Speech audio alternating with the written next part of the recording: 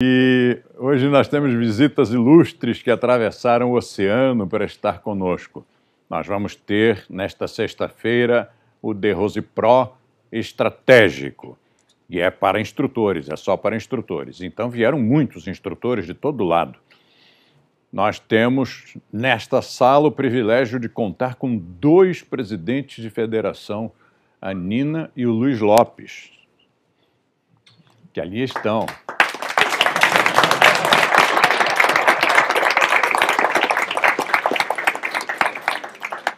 E mais uma delegação de Portugal invadindo o Brasil outra vez e uma delegação da Argentina também.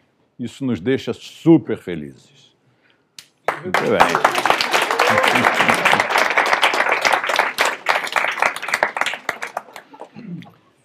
Bom, enquanto nossos neurônios estão fresquinhos, eu queria dizer a vocês que a unidade Vila Mariana nos trouxe esta revista, onde há uma matéria sobre concentração e meditação, conduzida pelo diretor Gustavo Oliveira. E também, olha isto, que potência que é, e ainda mais, aquela matéria que vocês já viram no blog sobre o nosso tricampeão brasileiro de stand-up. Muito bom. Luiz Guida, o nome dele. Temos uma matéria boa aqui, de uma, duas, três páginas. Parabéns, Vila Mariana. Obrigado, Rentinski, por ter trazido. E eu vou passar para vocês darem uma olhadinha. Eu soube que alguém trouxe um livro para que eu comentasse. Mantra, Vibração Infinita, da professora Shael Barcessat, agora publicado em português. Está traduzido o livro de Mantra, da Shael. Estou vendo agora a edição brasileira, estou vendo neste momento, depois vou querer dar uma boa lida, então nem devolvo, esse aqui já é meu. E quem produziu o livro foi a Aninha, não é? Ana Maquert, que é a diretora da unidade Alto da Moca. Está uma produção bonita, estou gostando do que eu estou vendo. É o nosso, neste momento, é o único livro sobre o tema vocalização de que nós dispomos. E também também é da, da mesma unidade? Tudo da Alameda Campinas. Da Alameda Campinas, do Charles. Olha só, montes de roupas. Cara, eu não vou nem poder mostrar tudo, senão eu vou ter que ganhar uma comissão. É, é muita roupinha, mas trajes de prática, trajes de rua, trajes de fazer outros esportes e levar a nossa marca. Por falar na marca. Ah, tá aqui. Olha que bonito. Parabéns, Charles, parabéns, equipe da Alameda Campinas. E agora eu vou começar lendo um texto que é dirigido aos instrutores, mas também, como hoje aqui na sala quase todo mundo é instrutor, vai ser uma experiência boa ouvir isto. Em casa, há muitos alunos que estão nos assistindo e até pessoas que nem são vinculadas à rede. Mas também há muitos instrutores. Hoje eu coloquei isto no nosso Facebook, mas eu sei que muita gente também não acessou. Então, tendo acessado ou não tendo, vamos ouvir pela primeira vez ou vamos ouvir uma segunda vez, que é sempre bom. O que eu mais gostei é que foi um insight de um colega, um insight de um instrutor, que conversando com outra instrutora, os dois foram elaborando, foram carburando e resultou nisto aqui. Olha que portento de conscientização. Sou empreendedor do método de Rose há poucos anos, mas tempo suficiente para ter visto muitos colegas adotarem e alguns largarem a nossa profissão. Observando de perto, identifiquei algumas atitudes comuns àqueles que não tiveram sucesso e acabaram por seguir outro caminho. Alguns se sentindo amargurados e derrotados, Se você quer o mesmo karma, siga à risca o roteiro a seguir. Então vamos ver o roteiro que o colega traçou para ser um fracassado. 1. Um, não assista às aulas do mestre De Rose nem faça seus cursos. Procure estar o mais desalinhado possível. Inclusive, chame de puxa-saco aquele que está sempre próximo e evite a companhia desse puxa-saco. 2. Quando souber de uma nova orientação do sistematizador, discorde em silêncio e faça do seu jeito. 3. Reclame de tudo, da instituição, da equipe, do diretor, dos alunos, dos prospects, do telefone tocado, de estar cansado. Se publicar suas queixas nas redes sociais, chegará lá ainda mais rápido. Quando um colega precisar de você, esteja sempre muito ocupado ou cansado demais para ajudá-lo. Só se relacione com instrutores que não têm sucesso na profissão. Não se preocupe em ter bons relacionamentos, apenas em dar boas aulas.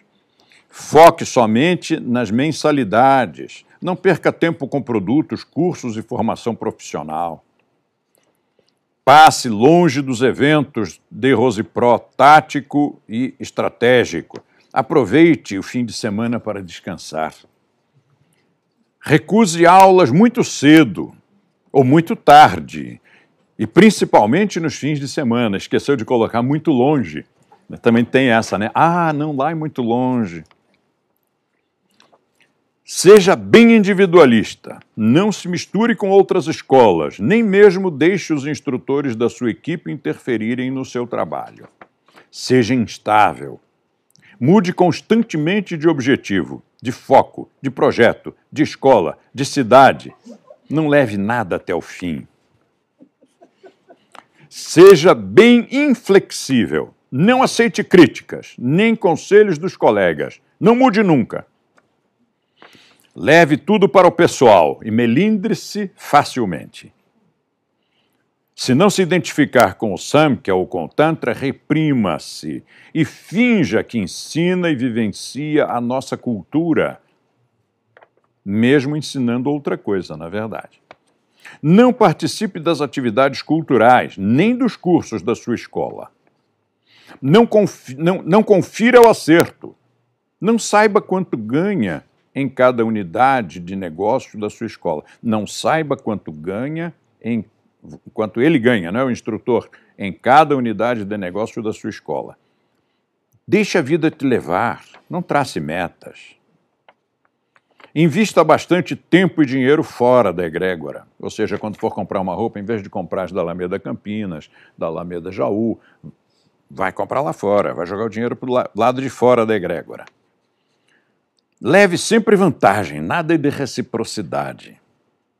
Passe muitas horas por dia nas redes sociais, socializando. Seja bem desorganizado. Tire muitas férias. Claro, como o nosso pessoal não é empregado, na verdade pode tirar férias a hora que quiser, né? É só combinar com os colegas, já que é um, um contrato de co-working todos trabalhando juntos, você diz: olha, agora eu preciso viajar para tal coisa e o colega dá as suas aulas. Então, uma das fórmulas de não ter sucesso é tire muitas férias. Aproveite todos os fins de semana. Sexta-feira, saia correndo desesperado histericamente para a praia. Isso ele não escreveu, foi por minha conta. Não procure entender os alunos e o que eles buscam. Enfie o conhecimento goela abaixo. Se o aluno te fizer um convite, não aceite. Evite criar vínculos. Se não estiver ganhando dinheiro, pare de pagar a supervisão. E depois, pare a monitoria. Então, sente-se e chore. Ao ler esta lista, convença-se de que ela não foi escrita para você. Não reavalie suas atitudes e continue fazendo tudo do mesmo jeito. E, finalmente, saia da rede, culpando a profissão, a instituição, o mestre, o diretor e a equipe pelo seu fracasso. É genial, não é? Parabéns! É Isso aí. E os que quiserem o sucesso na profissão é só inverter, fazer tudo ao contrário do que o colega disse com uma bem-humorada ironia. Agora, sobre os assuntos de hoje. Charles? Não, eu vou passar, mestre, pessoal. Luiz Lopes. A delegação do Chile que veio em peso. Da Argentina, de Portugal. Ah, de Edimburgo, da, da Escócia, está ali também. Boa noite a todos. Uma vez mais, obrigado aqui à equipe da transmissão, em nome dos que estão além da Câmara, porque a diferença para nós é, é de valor intangível. E o meu agradecimento, logicamente, ao mestre que nos ensina tudo eu trazia no gancho uma ideia que não sei se, aliás, já foi bem respondida, que neste momento, para o mestre, se pudesse apontar a prioridade do instrutor e do aluno, aquilo que lhe vem neste momento. A prioridade para todos nós, sejamos nós instrutores ou alunos, nossa prioridade é são as boas relações humanas. Essa é a nossa prioridade AAA, é a prioridade máxima. Com bom relacionamento, nós construímos uma carreira, nós construímos boas amizades, nós construímos um bom relacionamento afetivo, nós preservamos aquilo que nós já temos e abrimos portas novas para aquilo que ainda não temos. As boas relações humanas são fundamentais e ainda nós podemos considerar que isso se divide em boas maneiras e boas relações afetivas, porque são formas também de um bom relacionamento humano, são manifestações e são ferramentas. O instrutor que conheça muito bem as técnicas, mas não consiga se relacionar bem com seus pares, não chega a parte alguma. Quando ele tiver um produto cultural, um livro, um curso, ou mesmo um produto físico, ele não vai ter sucesso porque ninguém sabe quem ele é. Ele não, não se relaciona. Ou se relaciona mal e a pessoa diz: Ah, é do fulano? Ah, então não quero não. Não é por mal, mas é porque é, é, é emocional, é instintivo. A pessoa não gosta da, de, do, do, daquele que gerou o produto, então ele também não gosta do produto. Eu não vou ler o livro de uma pessoa se eu sinto que aquela pessoa não gosta de mim ou, ou não se aproxima. Eu não chego a, a travar contato com a obra dessa pessoa. Você vê o quanto isso é verdade, porque às vezes eu tenho oportunidade de privar com algum professor de uma área que ele acha que é similar à nossa, e o, o dito colega, entre aspas, não sabe que o tratado existe, não sabe que o ser forte existe, não sabe que existem os 30 livros que nós temos. Ele menciona o prontuário. Prontuário, meu querido, prontuário foi da década de 60, você ficou parado lá até hoje.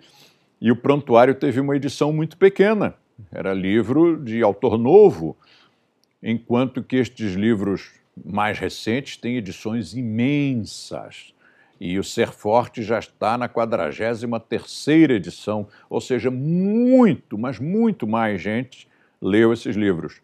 No entanto, aqueles que se supõem nossos desamigos, eles não leram, não tomaram contato, porque já que eu não gosto do De Rose, para que, que eu vou ver o que ele tem a dizer? E isto acontece entre nós, colegas também. É importante que o colega consiga cultivar boas relações humanas. E esse que se considera meu desamigo, é, por quê que ele se considera assim? Porque quando jovem eu não soube cultivar boas relações humanas. Eu achava que bastava dar boas aulas, achava que bastava eu ser um yogin dedicado, sério, compenetrado e fazendo um trabalho honesto, isso seria suficiente. Só que não é.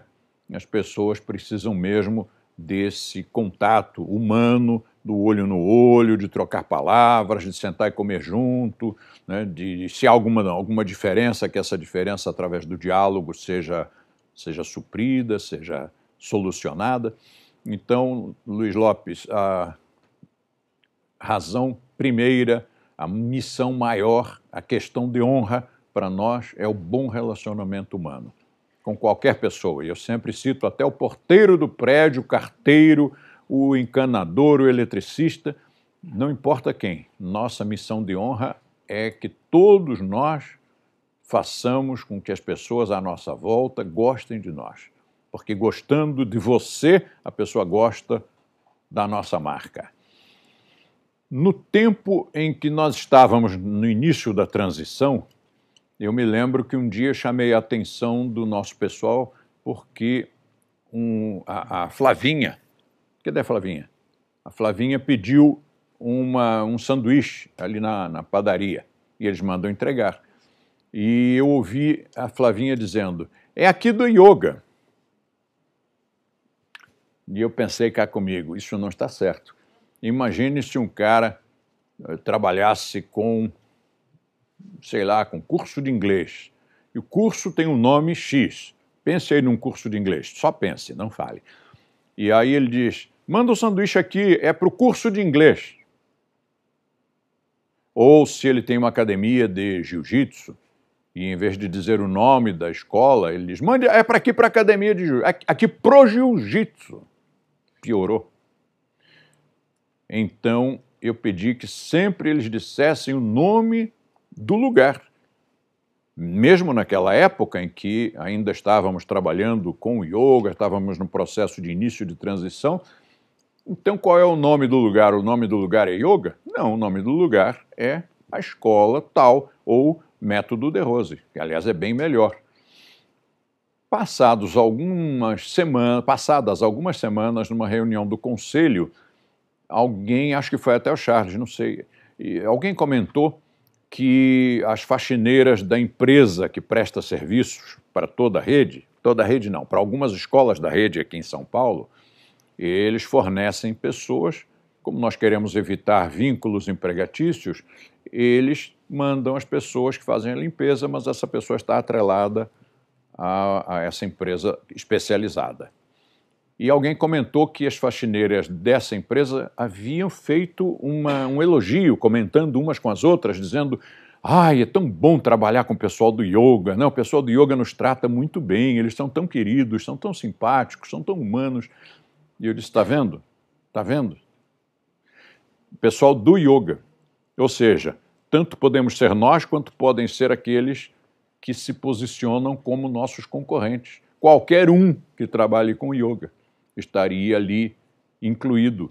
Mas se dissesse o pessoal do The Rose é tão legal, eles nos tratam com tanta humanidade, eles são tão queridos, é completamente diferente. Pronto, acho que falei demais para responder a questão do Luiz, mas a questão de relacionamento humano é fundamental para que todos, até a faxineira, o porteiro do prédio, o encanador, o eletricista, todos falem bem da gente, todos gostem da gente.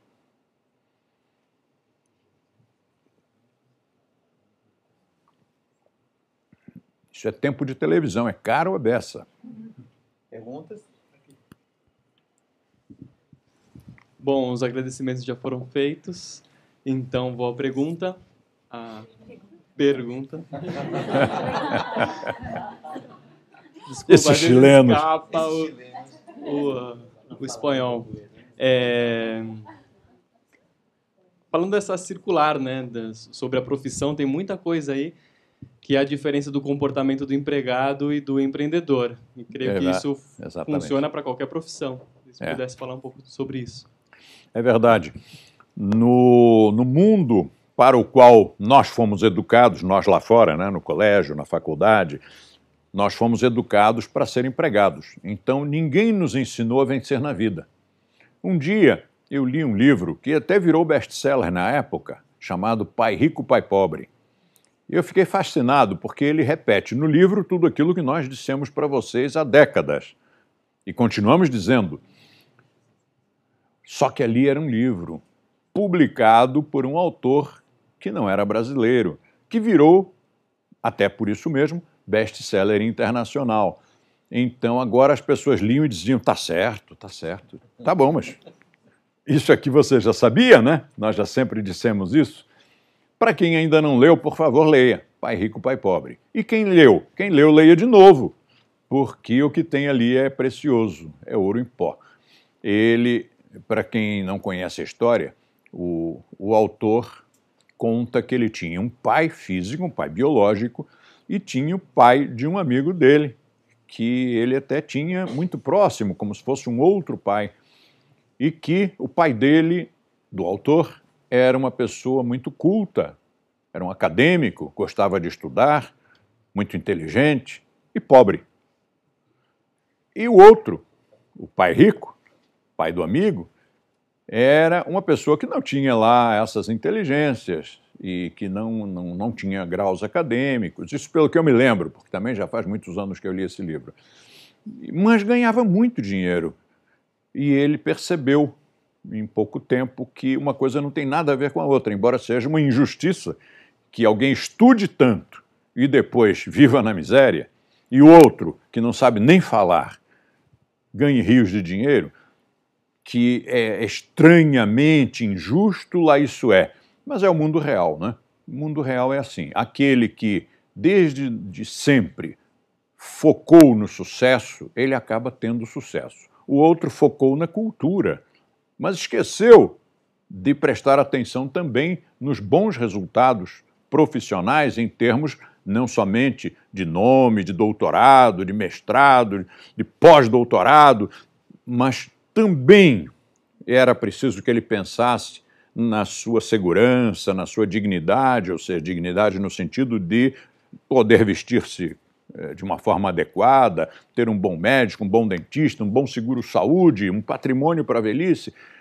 Então, esse só focou na cultura e ficou pobre. Então, ele ensina nesse livro umas, uns detalhezinhos, umas minúcias que servem para nós como uma carapuça feita sob medida, porque nós somos professores, nós somos da área de ensino, né, da área cultural. Nós nos preparamos a vida inteira para fazer um trabalho sério, um trabalho honesto, um trabalho bonito, bem profissional, um dar uma aula maravilhosa, conhecer, estudar com profundidade a filosofia, mas nós algumas vezes nos esquecemos de que existe um mundo real lá fora e que não é só este mundo interior, que é o mundo da cultura e da filosofia. O ideal seria que nós tivéssemos as duas colunas funcionando de, de igual maneira. Então, é bem isso, sabe? Eu acho que é isso. O essencial do que eu teria a dizer é isso, a respeito desse tópico. E pronto, acabou a nossa aula, vamos para casa. Microfone aqui para o Cirilo. Cirilo foi citado no, no, no, curso, no último e penúltimo curso que eu dei, porque você foi o primeiro em Portugal a adotar o método de Rose. E depois me passou as informações, né, o feedback de como correu, e eu divulguei para todo mundo as, as suas experiências.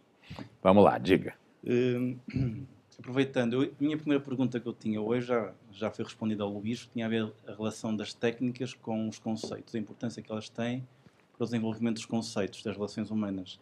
Mas aproveitando o momento que estou a passar na escola, nas últimas aulas temos acompanhado o desenvolvimento das técnicas, os 20% de técnicas, 80% de conceitos.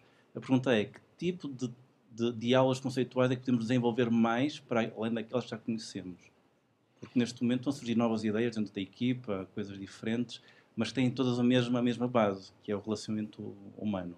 Mas se o mestre quiser, quiser dar mais, mais dicas. É, quase tudo a respeito disso já foi abordado, mas eu, eu acho que eu estou vendo uma insígnia diferente aí. Estarei vendo ou não? Está ali na porta atrás. Ah, então peça alguém para trazer aqui, o que eu já mostro para os colegas. A observação do Cirilo é muito pertinente. Ah, percebeu que tinha uma câmera. A opinião, a, a, as palavras do Cirilo são muito pertinentes, porque não adianta, e isso eu já tenho dito e repetido muitas vezes, mas sempre parece que não disse vezes suficientes, ou não enfatizei da melhor maneira. As técnicas sem os conceitos não funcionam. Ué, mas não funciona, eu perdi barriga, eu fiquei esculturado e lá se foi a celulite. Ganhei aquela competição porque minha respiração melhorou, eu tive mais fôlego, mais, mais flexibilidade articular, mais tônus muscular. Como que não funciona? É, não funciona na, no, no sentido de que o objetivo final, a meta, é o samadhi. E nós não chegamos lá se os conceitos não forem observados. Então, nesse aspecto, o, sem os conceitos, as técnicas só funcionam para essas coisas menores, como ganhar uma competição desportiva, ou ganhar mais dinheiro na profissão, ou ficar com o corpo esculturado. Mas para nós isso é muito pouco, isso é pequeno, isso é o lado de fora. Isso são os efeitos colaterais, não é a coisa em si. A coisa em si é a filosofia que visa o estado de consciência expandida que vai nos levar ao autoconhecimento.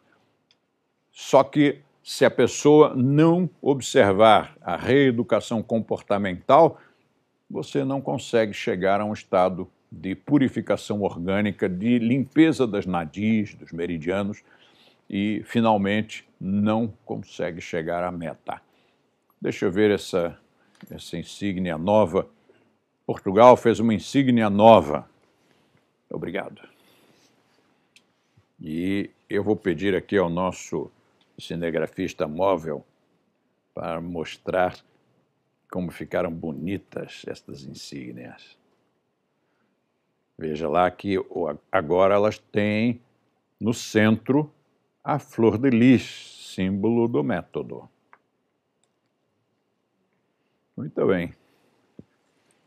E eu já vou roubar uma. de instrutor assistente.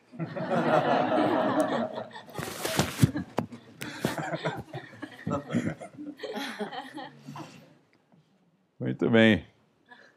Vamos para outro tema.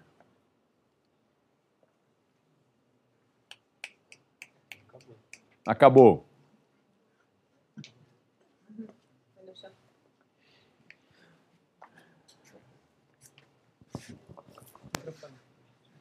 Ela vai falar primeiro. Será que podemos falar um pouquinho sobre a escala evolutiva?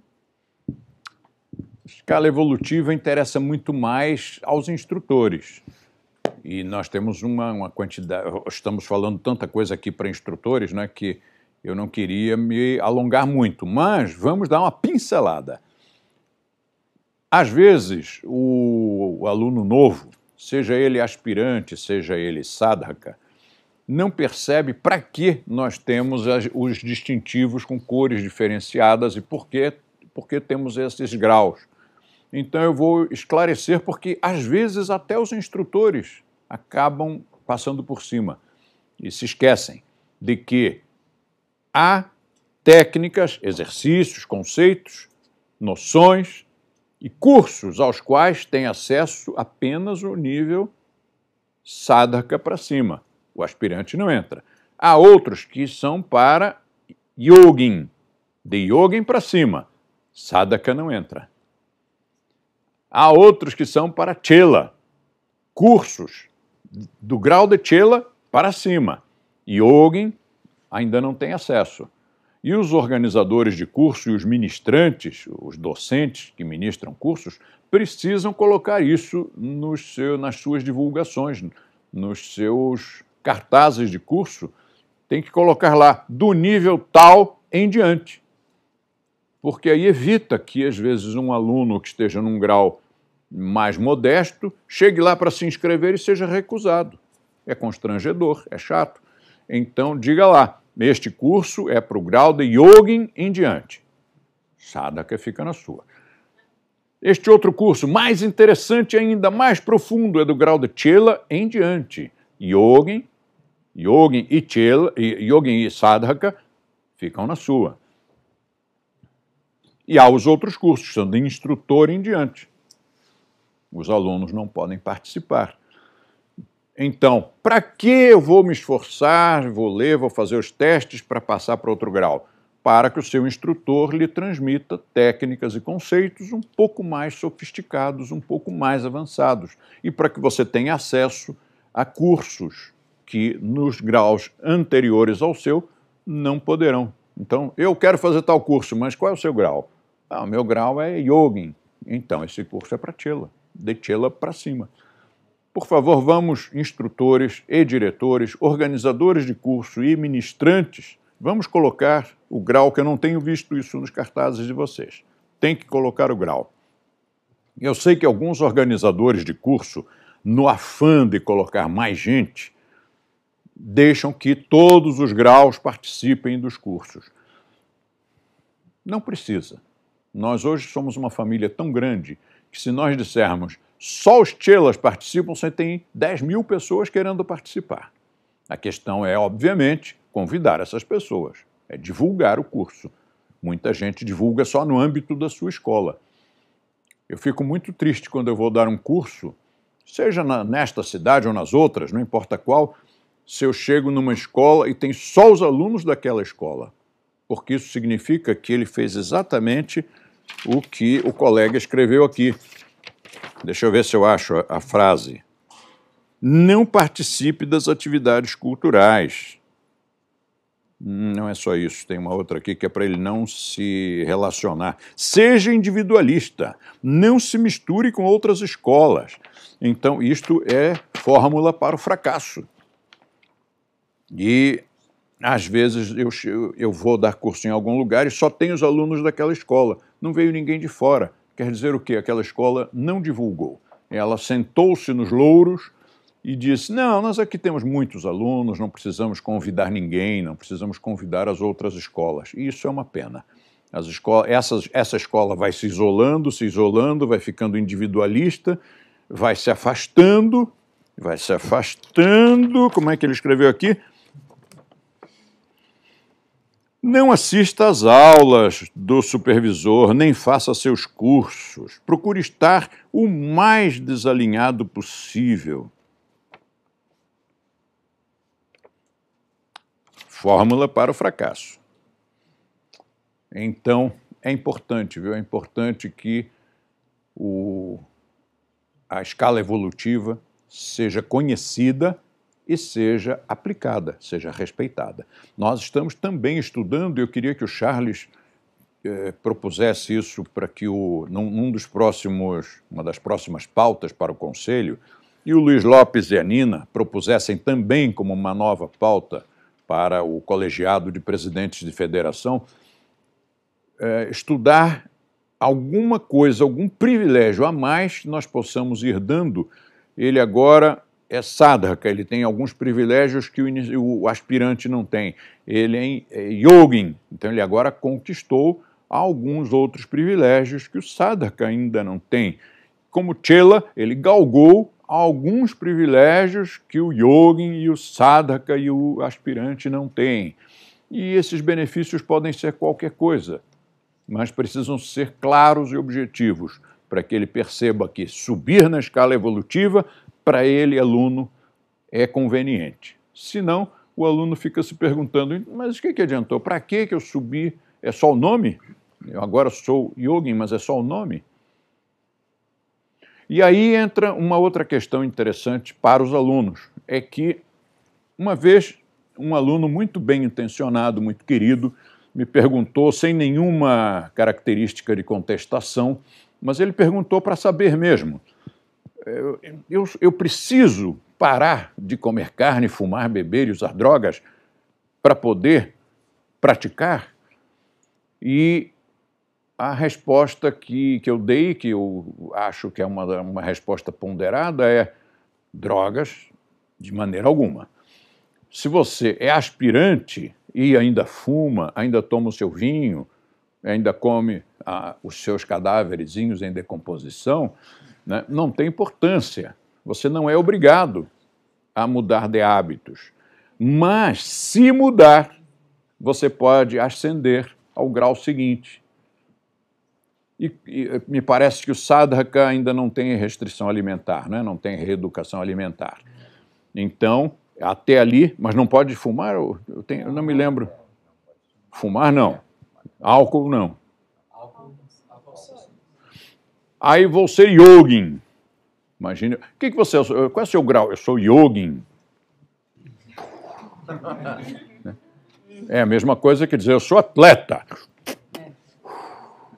É. Como assim atleta fumando? Não entendi. Ou então comemorando a vitória do time, tomando uma cachaça ali na esquina, uma cerveja, né? uma caipirinha. Espera aí, você é atleta ou finge que é atleta? Né? Porque o nosso caso é exatamente o mesmo. Nós trabalhamos a boa forma. Não trabalhamos com atividade física nem desportiva, mas boa forma como um conceito geral. Não é possível que uma pessoa que tenha por conceito de vida, de reeducação comportamental, de boa qualidade de vida, de alta performance no que fizer, que essa pessoa fume ou que essa pessoa tome álcool. E depois vem a alimentação mais aprimorada, uma boa alimentação. Então eu sou obrigado? Não, mas se você fizer, você pode ascender, você vai para um grau mais elevado, o qual tem esses privilégios todos que foram mencionados, e mais os que vão ser estudados, para que se agreguem alguma, alguns privilégios a mais para cada grau. Pronto, eu, eu não queria falar, acabei falando. Vamos ver a, o próximo. Buenas noches. Eh, yo quería preguntarte eh, que nos cuentes un poco de qué se trata, eh, aplicado al trabajo y a la vida, el ritmo de roce. Lo que llamamos de ritmo de roce. nós temos uma, algum, um princípio que vai se refletir em qualquer profissão, que é isso que a Lutia acabou de mencionar, que é o ritmo de Rose. Se você pratica o método de Rose, você deve adotar, é recomendável que adote esse ritmo.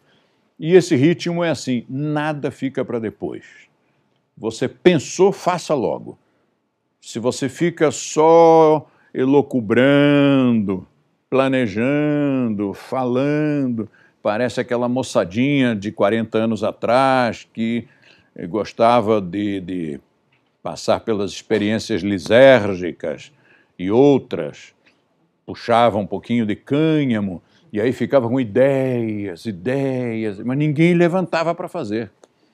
Então, no, no trabalho, seja qual for, na profissão, seja qual for, se você tem uma ideia, tem que levantar e fazer imediatamente. O pessoal que trabalha aqui que sabe disso, o Eduan, o Hirota, a Manu, quando eu peço alguma coisa, dali um minuto eu volto e pergunto, já está feito? Passou um minuto inteiro. O que você fez nesse um minuto? Em todas as profissões, é isso que nós temos que fazer a Elo me pediu os certificados das escolas certificadas que receberam a recertificação. E aí eu imediatamente fiz. Quando acabou de ficar pronto, fui informado de que a lista que havia sido acessada não era a lista correta. Tivemos que jogar fora um monte de certificados. E aí eu paguei por ter ritmo de rose. mas outros não tiveram, e a lista estava bugada. A lista estava furada.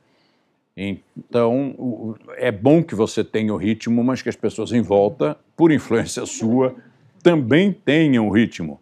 E se não tiverem, é claro, não precisa ser um chato, mas não custa nada lembrar aos, aos companheiros. Né? Eu não fiquei, não briguei com ninguém não disse, pô, agora os trabalhos que eu tive, vou ter que jogar tudo fora, vocês isso, vocês aquilo. Não, tudo bem, então me dá a lista nova que eu faço outra vez. Só de dizer isso, todos ficaram assim, puxa vida, nós fizemos o De Rose trabalhar à toa. E ainda gastar um papel especial, tinta de, de, de impressora e não, não fazer outros trabalhos para fazer esse e depois jogar tudo no lixo. Mas se todos tivermos o ritmo, a dinâmica necessária, nós crescemos muito. Aliás, por falar nisso, não sei se a Elô te consultou sobre umas, uns certificados que estavam faltando. Acho que ela consultou mesmo. Hoje? Sim. Tá. E, e, e, será que você já deu para ela o, os nomes dessas unidades? Eu não lembro, mestre. Porque eu já estou ali, né, os dedos já estão querendo fazer os certificados que estavam faltando. Afinal, é para sexta-feira agora. Sexta-feira começa o, o, o estratégico. É uma festa incrível, pessoal.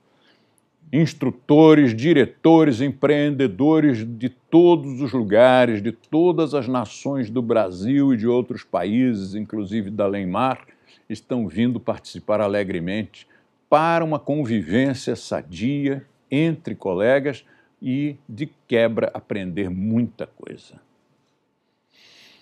Vamos ver se temos outro assunto. Eu, eu, eu fui até o fim no que você queria? Sim. Então. Primeiramente, boa noite. Eu, mestre, aproveitando o gancho da não só do ritmo, mas falando principalmente da convivência, queria que pudesse ressaltar a importância de participarem, não somente quem não conhece, né? Estou pensando no pessoal que está ouvindo, né, acompanhando o programa, quem não conhece ainda o método, mas também os alunos participarem dos Days, Days Experience High Performance, que a maioria das escolas certificadas costumam fazer, até mesmo as credenciadas onde consegue participar não somente de uma prática que costuma acontecer na sala de aula, mas também a convivência fora da sala de aula. E mais comidinhas. Mais as comidinhas. É muito, isso é muito importante mesmo. Várias escolas têm promovido esse esse high performance day experience e com excelentes resultados, sabe? das pessoas poderem um dia de festa, geralmente é sábado, né? Inteiro, um domingo inteiro.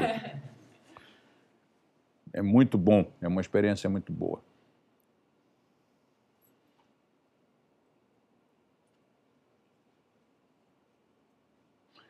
O Federico trouxe a capa? Depois da aula. Tá bem. A capa da nova edição do programa do curso básico. O, o ser humano tem um hábito de, de abreviar as coisas, né? Então começaram a chamar de PCB.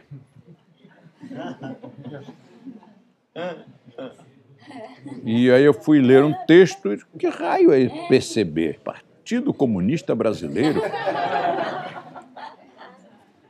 E era a mania das siglas. Devemos fugir das siglas como o diabo foge da cruz. Primeiro, porque só entende quem está dentro da coisa. Um parente, um amigo, um colega de trabalho vê aquela sigla, seja qual for, não sabe do que se trata. E muitas vezes os de dentro também não sabem. Como foi meu caso, quando eu olhei PCB, eu não sabia o que era. Eu estou há anos no Rotary. E às vezes eles dizem: olha, vai ter o. Joga uma sigla. Eu não sei o que é apesar de estar lá há anos, eu não sei o que é. Mas se em vez da sigla tivesse o nome da coisa, talvez eu até participasse.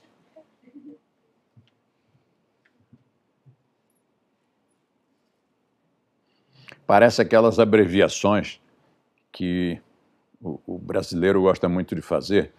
C barra, ou P barra. Sabe o que é?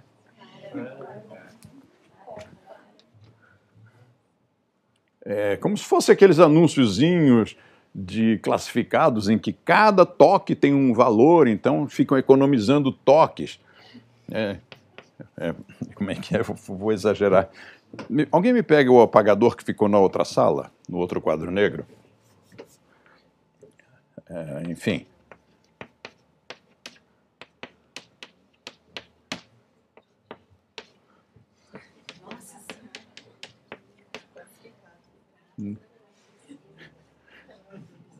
Aqui economizou um toque. Tá bem que se você for, for colocar um anúnciozinho num, num classificado, eu até admito que essas coisas deselegantes sejam permitidas. Mas se for um texto nosso, colocar C barra, em vez de escrever com, C é um toque, barra é um toque, você fez uma, uma coisa feia para economizar uma letra. Nós temos umas coisas mesmo engraçadas aqui na nossa terrinha. Eu, quando dei o curso no Rio de Janeiro há duas semanas, eu fotografei umas, um, uns avisos que estavam na rua e mostrei para a Lívia, comentei com ela, olha só, está lá escrito bem grande, atenção! E embaixo, eu não sei o que está escrito.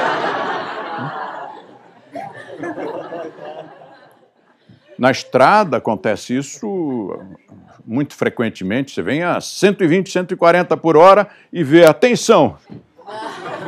O resto não dá tempo de ler. Aviso! Cuidado! Era melhor começar logo com a notícia, né? Em vez de colocar atenção, não entre de sapato na sala de aula, era melhor colocar logo não entre calçado na sala de aula. Atenção, não pise na grama. Por que não põe logo não pise na grama? E eu escutei na Globo, só não vou dizer o nome do locutor porque ele pode ficar zangado, mas eu escutei esta semana Agora fulana vai nos falar da meteorologia. Depois o povo repete e a responsabilidade do jornalista é redobrada, porque quando ele fala, milhões escutam e depois repetem. Eu me lembro que esse tópico, inclusive, eu comentei aqui há uns quatro anos. E eu perguntei a uma, uma instrutora, não era uma, uma pessoa que estava sentada ali naquele canto. E ele disse: Como é que você diz? E não é que ela disse meteorologia? Então vamos prestar atenção a essas, essas aparentes bobagens, mas que, na verdade, dizem tudo sobre a nossa educação.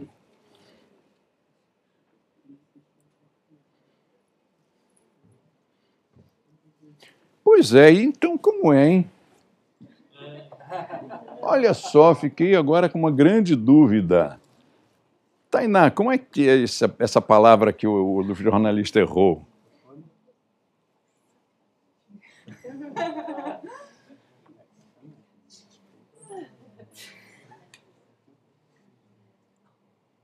Hum, peguei uma. Pegou. A culpa não é sua, a culpa é dos, dos veículos de comunicação. Nós escutamos e aquilo se instala. Então é meteoro. Meteoro. Meteoro. Logia. Pronto. Não tem mistério. Não tem mistério. Vocês se lembram de uma palavra que eu sempre recomendei que nós não usássemos?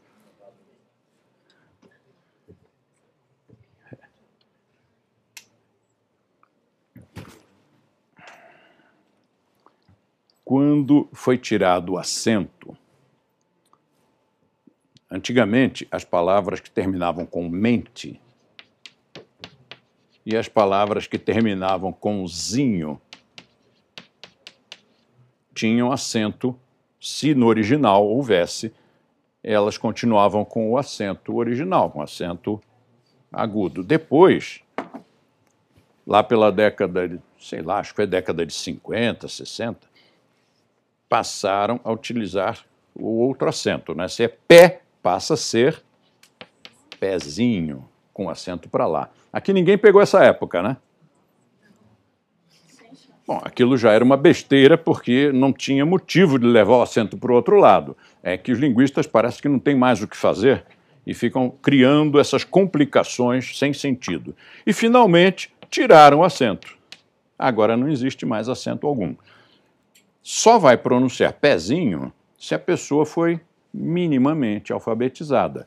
Porque, na, por exemplo, em São Paulo, a tendência é pronunciar as palavras fechando os S e os Os. Tanto que nem dizem que é a letra E, dizem que é a letra I. E aí alguém vai dizer pezinho. Mas pezinho é outra coisa, não é? Pezinho é outra coisa. E aí eu encontrei uma palavra nova.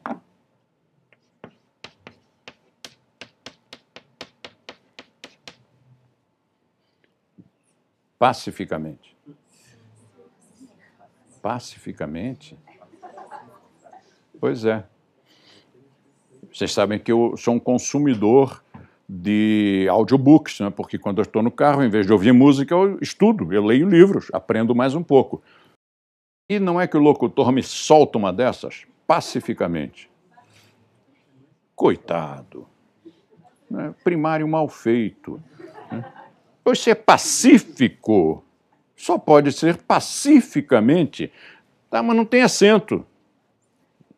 Vai reclamar com os linguistas que tiraram o acento. E vai reclamar com os professores que não ensinaram direito. Mas o problema é que, quando as palavras ganham esse mente, perdem o acento. E ao perder o acento, a pessoa que não estudou direito pronuncia errado. Qual é a outra palavra que eu sempre tenho mencionado? Inclusive está naquele livrinho, aquele pocket bonitinho, engraçado, chamado Falando Bonito. Qual é a palavra que eu também recomendo que. Como é? Pacificamente. Especificamente? Especificamente. É outra palavra, tem o mesmo problema, porque é específico. Específico. Logo, se eu colocar mente, vai ser especificamente. Mas, como tiraram o acento, hoje, lamentavelmente, aqui no Brasil as pessoas já estão pronunciando especificamente. Como, é, como especificamente? Não tem acento aqui no E.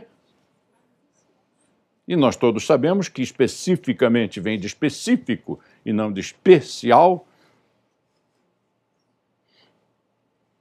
Então eu tenho recomendado sempre: não diga essa palavra nunca mais na sua vida.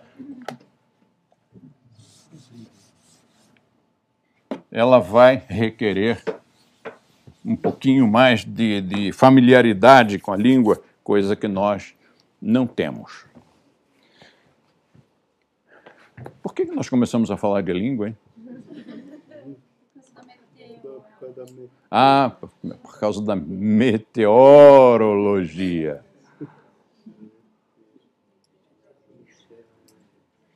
Você sabe que eu vi um texto de uma pessoa reclamando que a língua estava deteriorando e que os jovens já não falavam direito mais. E a frase era de um filósofo da Grécia Antiga.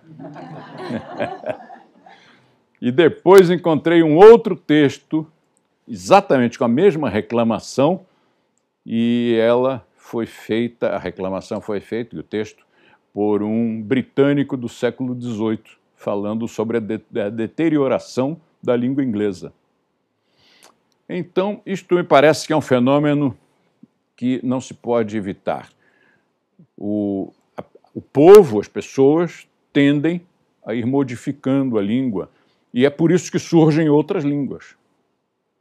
O português, por exemplo, não, o espanhol veio do português. Hum? É a evolução. Né?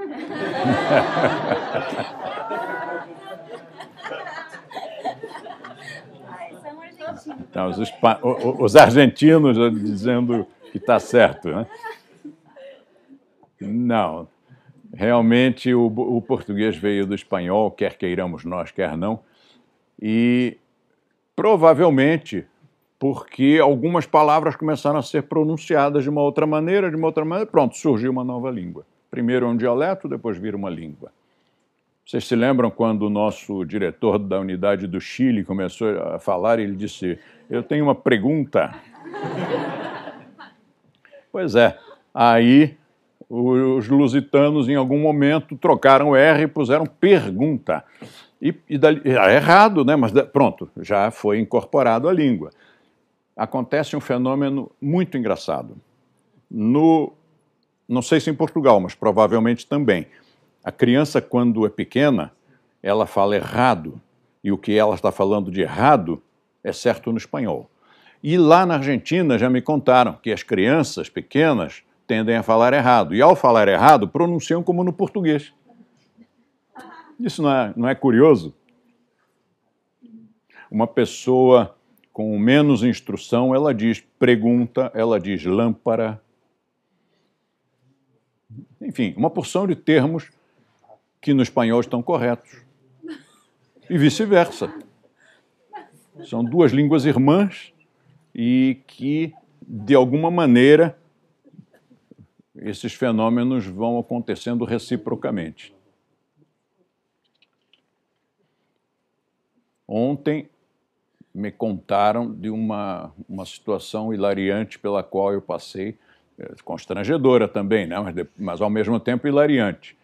Eu estava dando uma palestra, isso há 20 anos, agora já não, não erro nessas coisas, mas estava dando uma palestra na, na cidade de Comodoro Rivadavia, no sul do sul do sul da Argentina, e entreguei alguns rudrakshas para as senhoras presentes e disse: Isto é para que, isto, para que você semeie. Isto é para que você semeie. Só que semear é se mijar.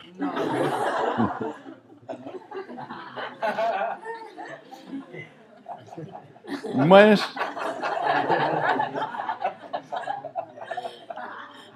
Mas é engraçado porque neste caso a recíproca parece ser ali muito próxima do verdadeiro.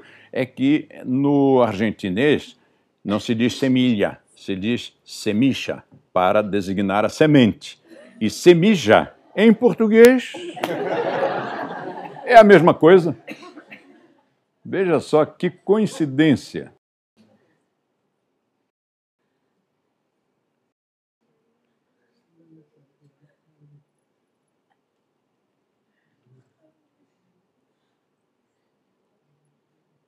Por isso, eu nunca direi, mesmo quando nós já tivermos 10, eu nunca direi que temos 10 milhões de praticantes.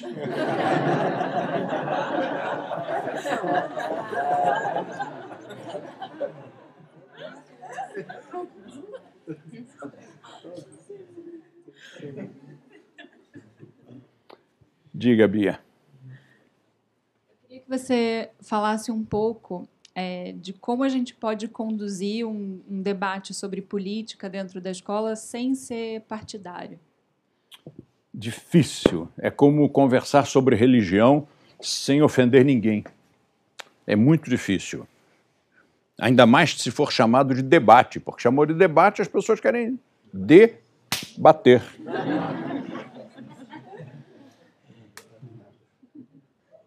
Quando uma pessoa está se afogando, o que, que ela faz? Se debate.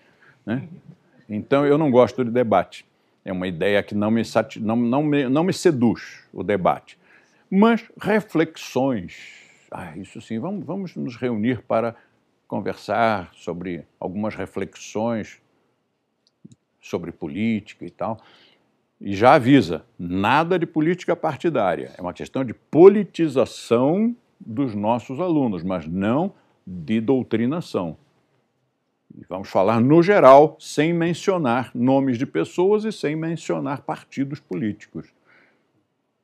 Mesmo assim, ainda é, ainda é arriscado. As pessoas podem se emocionar e, e, e baixar o nível. Né? Alguém me mandou um vídeo, não me lembro quem foi, de um grupo que estava defendendo um candidato. E eram pessoas bonitas, pessoas via-se que eram pessoas de um nível interessante, pessoas educadas. E aí chega uma pessoa que era defensora da outra candidata.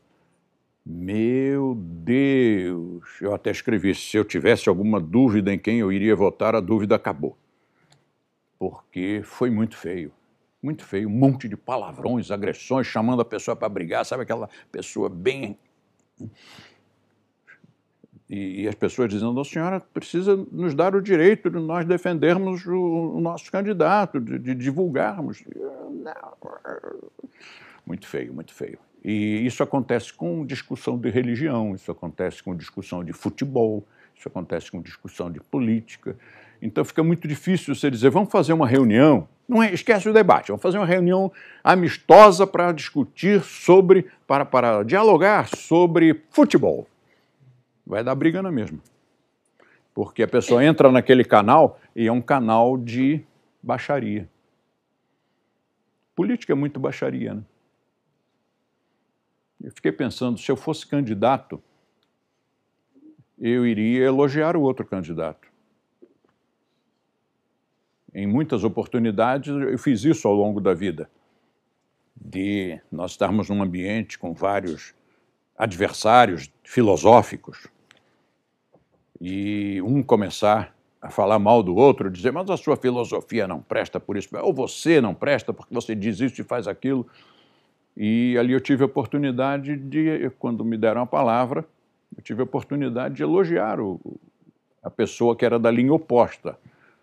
E aí a pessoa da linha oposta passou a retribuir. Sabe aquele rasgar de sedas? Um elogiando o outro e tal, ficou um clima maravilhoso, ninguém brigou. Mas um dos dois precisa tomar a iniciativa, né, de não falar mal do outro. Em princípio, eu não gostaria de votar num candidato que falasse mal do outro. O problema é que não há.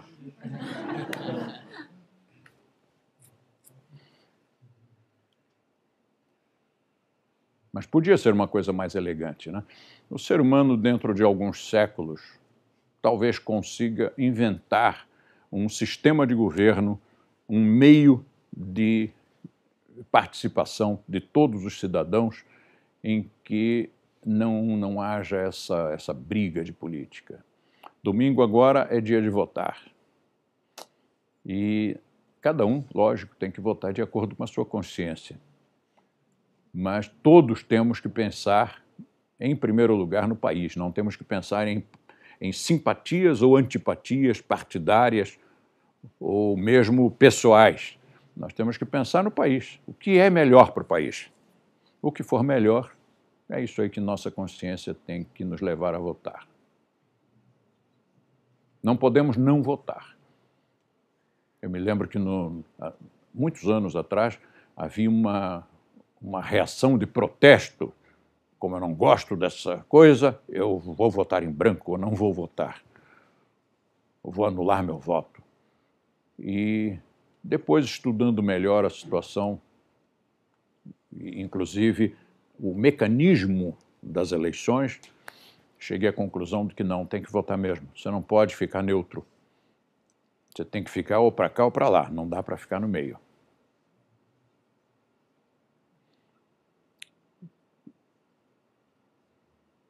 Esta eleição parece que vai ser, não vai ser votar na pessoa que nós queremos, vai ser votar contra a pessoa que nós não queremos. Parece que vai ser desse jeito. E aí os times. O grande problema do sistema de votação no mundo inteiro, no mundo moderno, no mundo democrático, é que se, por exemplo, um ganha com 60% de votos, o que isso significa? Que 40% ficaram insatisfeitos. 40% de 100 milhões são 40 milhões. Eu não sei quantos eleitores nós temos no Brasil. A população passou de 200 milhões. Agora, quantos são eleitores, não sei. 140? É bastante, hein? Deve ter gente aí votando duas vezes. Pensa lá, em 60 milhões, quantas crianças existem? Enfim, é um, é um sistema que não, não é o melhor sistema. O que acontece é que o ser humano ainda está se organizando. Né? Nós somos, como, como civilizados, ou civilizados, dá vontade de rir, mas é, há muito pouco tempo, né? há muito pouco tempo nós nos organizamos em cidades. Daí civita, daí civilizado. Pessoa que vive né, o cidadão, mas nós ainda não sabemos como fazer isso. Durante muito, muito tempo, nós usamos o sistema monárquico, monárquico absolutista. Depois veio o sistema monárquico constitucional, parlamentarista. Parece que é muito bom porque esse é democrático. Mas aí veio também, não sei o que veio primeiro, veio a, a, a República, que havia passado por uma experiência por um tempo limitado em Atenas, em alguns países da antiguidade. Mas não eram grandes países, não eram, não eram estados hipertrofiados como nós temos hoje. Então, é, o que nós temos hoje como maneira de manifestar a democracia é muito falho. Muito falho.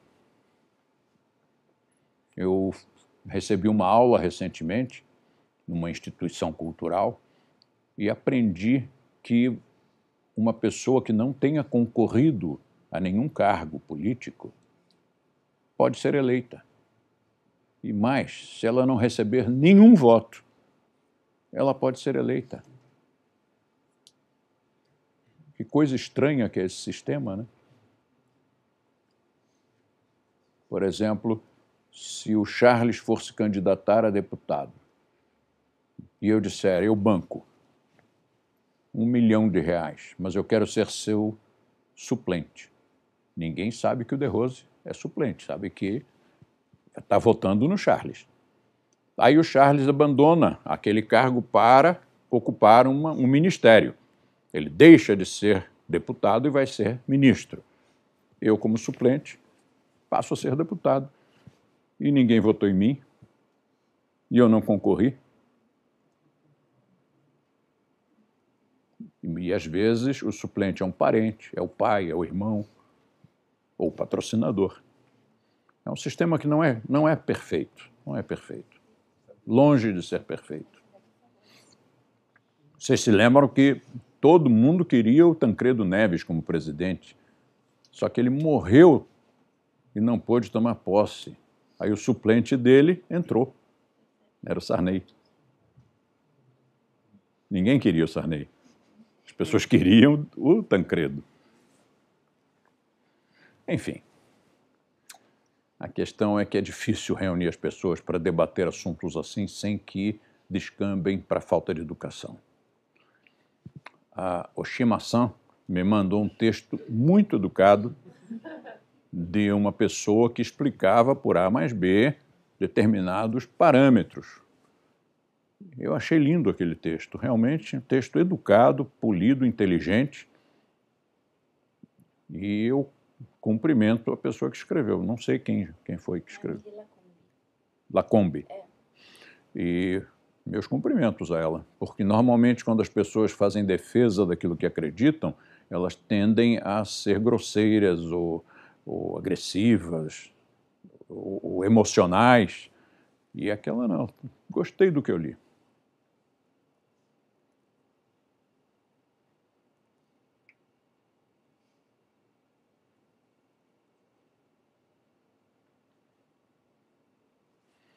eu estacionei o carro para ir a um, a um, almoço do Rotary, eu acho que foi no dia que a Isabel foi comigo, que da Isabel.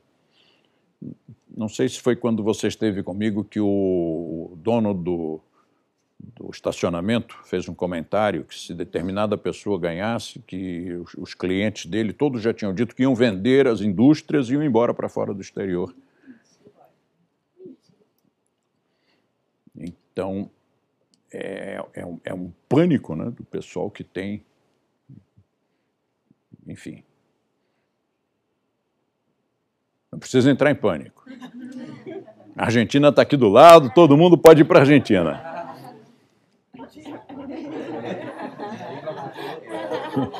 Portugal também fala uma língua muito parecida, dá para ir para lá. Temos um monte de escolas, amigos, uma família grande, tanto na Argentina quanto em Portugal.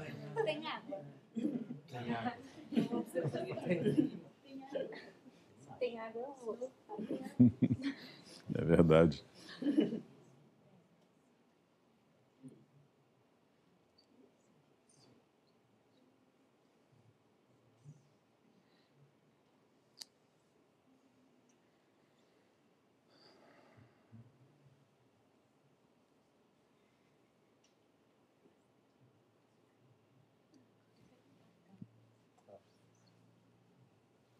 microfone aqui para. Ah, já está lá, ela vai falar.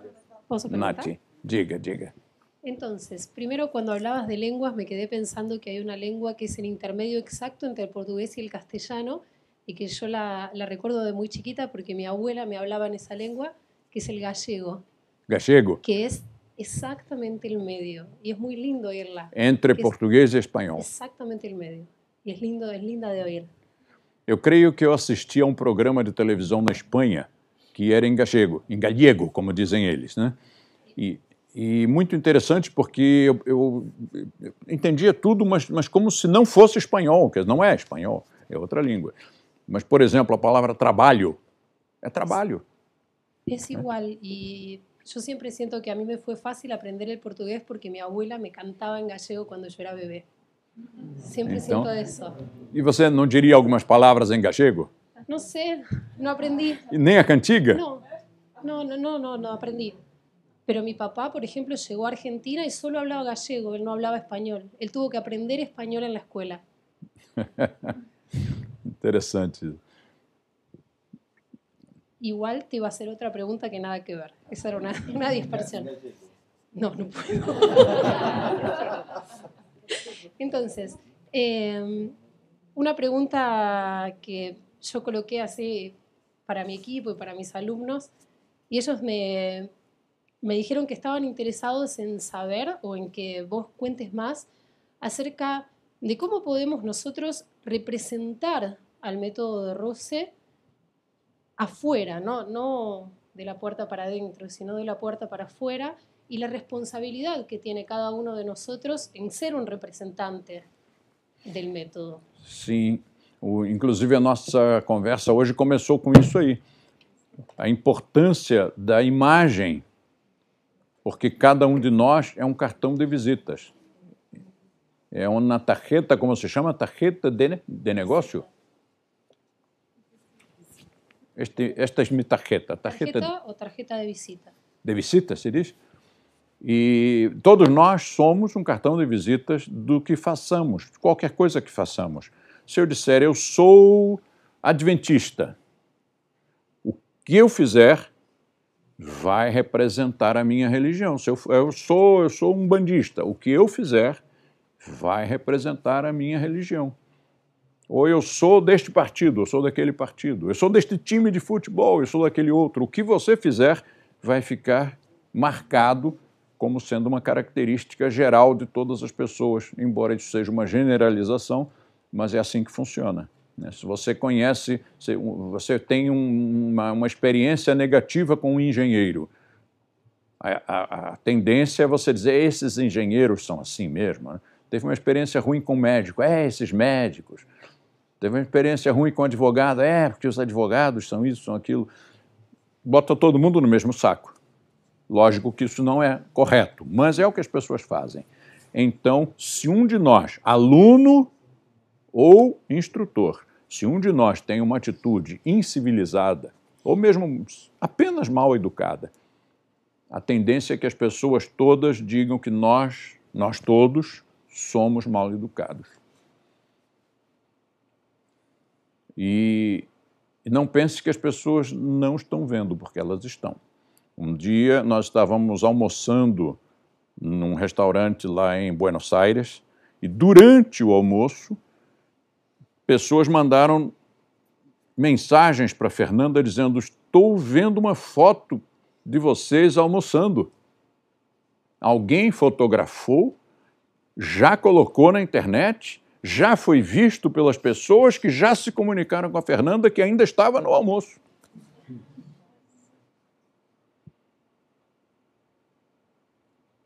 E eu contei num outro curso que esta semana eu dei uma fechada.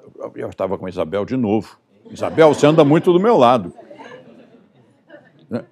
E dei uma fechada sem querer num outro carro. Então cheguei para o lado, deixei que ele emparelhasse, abri o vidro, pedi desculpas. E ele disse: Não, professor, para mim é, é uma bênção ser, ser, levar uma fechada do senhor.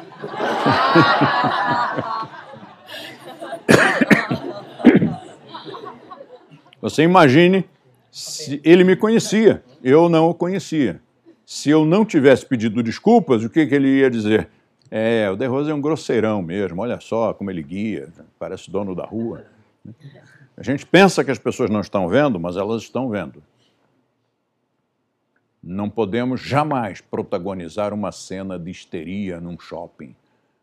Ah, porque a namorada fez isso, fez aquilo, não, ou o namorado. Não é desculpa, não pode, não tem jeito, em hipótese alguma, nem dentro de casa. Nem dentro de casa. Tempos atrás, eu estava num apartamento e ouvia gritaria, mas uma coisa assim, parecia coisa de, de cortiço. Era um apartamento chique, mas alguém lá embaixo, alguém de algum apartamento lá de baixo, teve uma briga conjugal.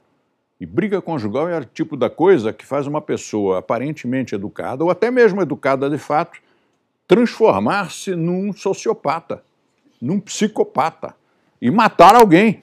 Né? Ah, você não imagina o que era aquilo. Eu cheguei a telefonar para a portaria e dizer: olha, se isso não parar, eu vou chamar a polícia. Porque nós não temos que ficar aqui em cima ouvindo esses, essas baixarias todos, esses impropérios. Agora você imagine se isto fosse o apartamento de um dos nossos. E amanhã alguém descobrisse ah, é você que mora ali? Você que tem uma insígnia aí, como é que é? De Rose? Ah, entendi. De Rose deve ser manicômio judiciário. Nós temos uma responsabilidade realmente muito grande em termos de imagem. Temos que tomar um cuidado extraordinário. Não podemos ser grosseiros com ninguém. Enfim, como havíamos começado com isso, eu apenas voltei ao assunto devido à sua pergunta. Mas vamos em frente. A Cris tinha uma coisa aqui. Era parecido? Bom, o tema parece que está tá, tá dando ibope. Mas manda o microfone assim mesmo.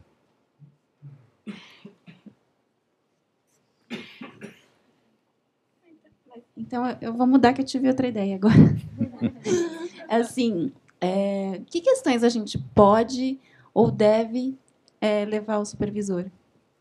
E, pode ou deve? É, pode ou deve levar ao supervisor e outras que você deixa como seu instrutor ou seu monitor, ou, e outras que você deve ficar quieto mesmo.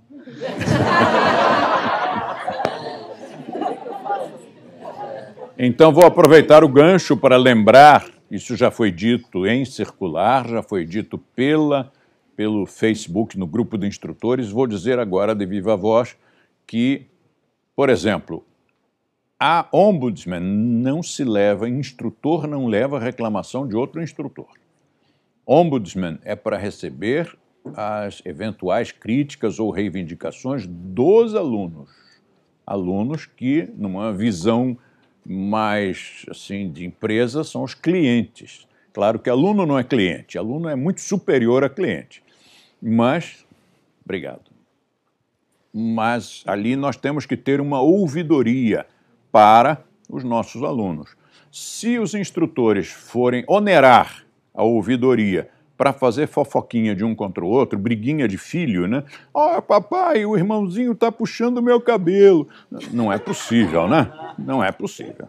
Então, levar a ouvidoria, instrutor, jamais. Se ele realmente tem alguma questão, leve ao colegiado de presidentes de federação porque eles têm, um, um, têm uma comissão de ética, um conselho de ética, e esse conselho vai julgar se realmente é procedente essa sua reclamação de um colega.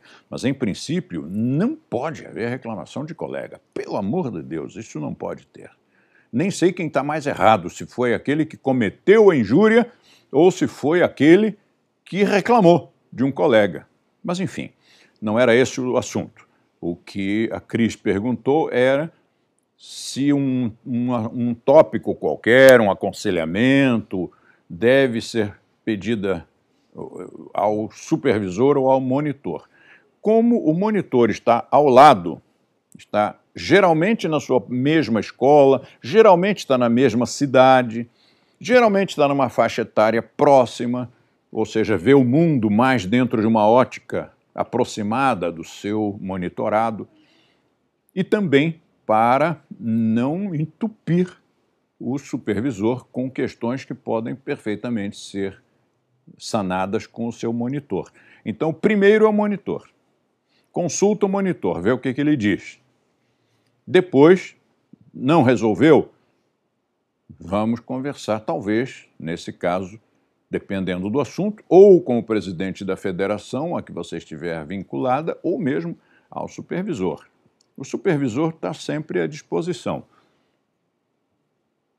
Tem prazer de conversar, de orientar. Só tem que ver se o assunto eh, é dessa alçada, porque senão o assunto é mandado ao supervisor e ele devolve para outra pessoa. Hoje, por exemplo, eu recebi uma, uma foi hoje, Charles, que eu mandei para você uma opinião de uma pessoa, ou foi ontem? Ontem uma pessoa me mandou uma opinião que eu já mandei para o outro, quer dizer, não sou eu, aquele assunto é com outra pessoa. Há, há pouco tempo, uma pessoa me consultou de um outro país. Me consultou sobre uma questão que era assim, era como fazendo uma comparação em termos de, de, de abrangência, de hierarquia e tudo mais, era como se uma pessoa fosse ao cardeal e perguntasse a ele: Cardeal, me explica aqui como é que eu devo rezar o Pai Nosso? Então, essa pergunta tinha que ter sido feita ao vigário, ao cura, ao padre do seu, da sua paróquia, não é ao cardeal. Depois eu, eu perguntei quem era o supervisor da pessoa, quem era o monitor da pessoa, e o monitor me disse que ela não é muito, né, não é muito equilibradinha, não. Então há questões que realmente não devem ser levadas ao supervisor, porque o monitor resolve. E como são milhares de pessoas, imagine os milhares levando questões ao supervisor quando esses milhares podiam ser resolvidos ali em âmbito quase que interno da própria escola ou do, da árvore genealógica daquele monitor, que cada monitor vai formando uma árvore, né? vai tendo os seus, os seus monitorados e estes vão formando outros monitorados. Alguns dos nossos empreendedores do método professores, docentes mais antigos, eles têm árvores lindas, enormes, com netos, bisnetos, tataranetos. É uma coisa muito bonita isso.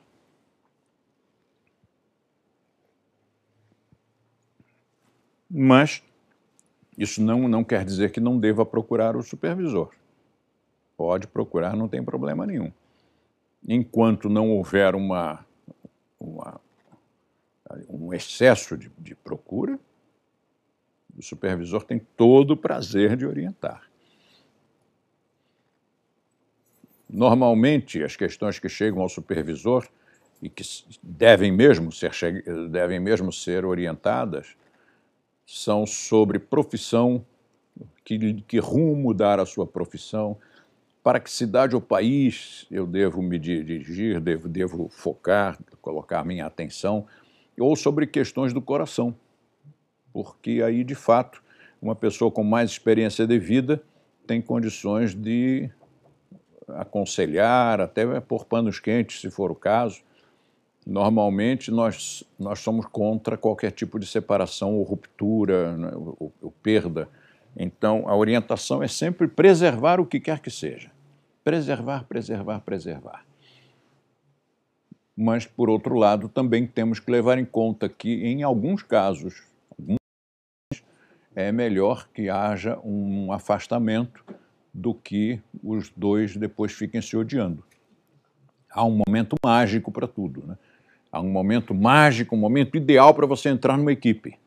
E se você perder o timing, depois já não, não entra tão com aquele entusiasmo, ou talvez a equipe já, já tenha se completado não tenha mais o lugar não tenha mais a vaga. E para sair da equipe, mesma coisa. Há um momento mágico para sair. Se você sair naquele momento, as amizades estão preservadas. Se insistir em ficar ali, dali a pouco começa a brigar com algum colega, já estraga a sua imagem, estraga a amizade dos dois, compromete a própria carreira. Relacionamento afetivo é igual. Tem um momento mágico para começar. Se não começar naquele momento, talvez não comece mais. Passou, passou. Sabe aquela figura da oportunidade dos gregos, que era uma mulher com a nuca raspada? Então, se a oportunidade passar, você não tem como puxar pelos cabelos. Que meigo. Que meigo. Que meigo, né? Pois é. Mas era essa imagem. E, ao mesmo tempo que tem um momento mágico de começar uma relação, tem um momento mágico de terminar. É o timing certo para terminar ou para transformar noutra coisa, para sublimar. Se a pessoa insiste que não está dando certo, está dando briga, está dando eh, tristeza, está dando estresse, está dando até embates não tão educados quanto nós somos. Então, talvez tenha deixado passar um momento mágico. Eu já falei com a minha querida namoradinha que no dia que nós brigarmos pela primeira vez, acabou. Então, o que, é que nós conseguimos com isso? Não vamos brigar nunca. E já sabemos, se houver briga, acabou. Não quero acabar, então não vou brigar porque fica muito feio as pessoas brigando, brigando, brigando e continuando e continuando e continuando. Um dia perde-se o controle e uma pessoa atira a outra pela janela. E agora? O que, que vai aparecer nas manchetes dos jornais? Praticante do método de Rose atira a namorada pela janela. A minha casa tem redinha. Você se lembra que um assassino que foi preso, ele e a mulher, eles cortaram a redinha para jogar uma pessoa?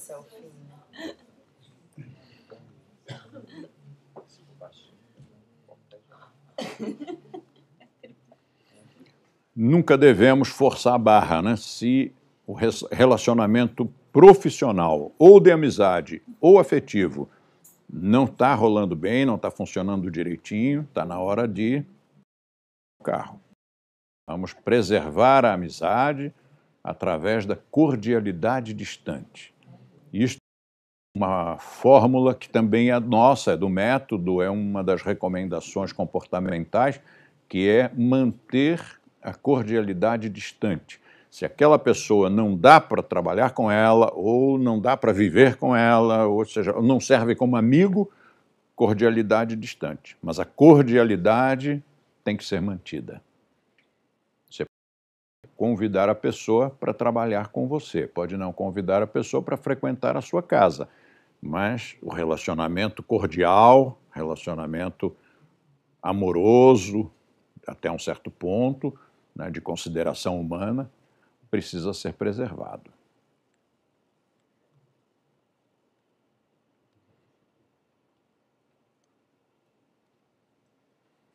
Era isso?